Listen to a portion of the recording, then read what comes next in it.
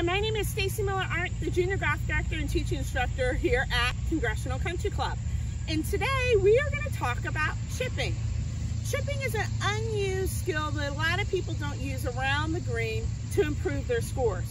And it's an easy stroke that if you practice a little bit, you'll notice that one, your balls will get closer to the hole, but two, your scores will easily lower. So when we chip, we want to make sure we're using a low lofted club. We want to use a seven, eight, or a nine iron, depending how far away you are from the hole. Stay away from your sand wedges and your, your lob wedges. They have too much loft, too much angle, and what'll happen is they'll pop up the ball up in the air and it won't roll very much.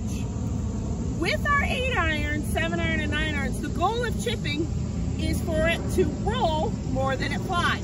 Thus, that's why we're using a club that doesn't have much angle to it. When you're chipping, you want to make sure that it is around the green and you have a lot of room to work with. We don't want to hit a chip where we have to get it up and over a hill. That's not going to help us. So when I set up to the ball, you want to make sure that the ball is in the middle of your stance and your hands are right in the middle of the grip. And we're just going to swing just like a putt. We're not breaking our wrists. We're using our shoulders and we're brushing the grass. We want to finish low during this swing. The first thing you do before you hit your chip is figure out your break.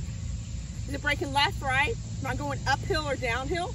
The second thing we want to do after that is pick a spot between our ball and the hole that's about a one third of the way. We want to fly the ball one third and let it roll two thirds of the way.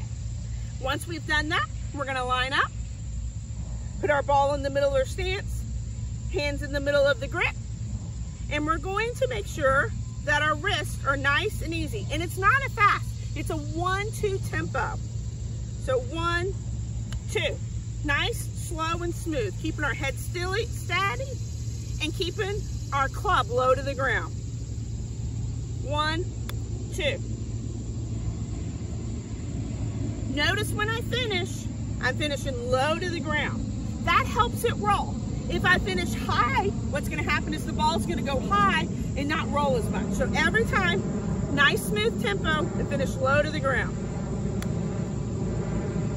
A great way to practice this, if you're not have a club that's close to you, go out in your backyard, put a towel that's five feet, 10 feet, 15 feet, 20 feet, and have your ball land on that towel so you can work on your landing surfaces. And then you'll know that it's gonna roll two thirds after that.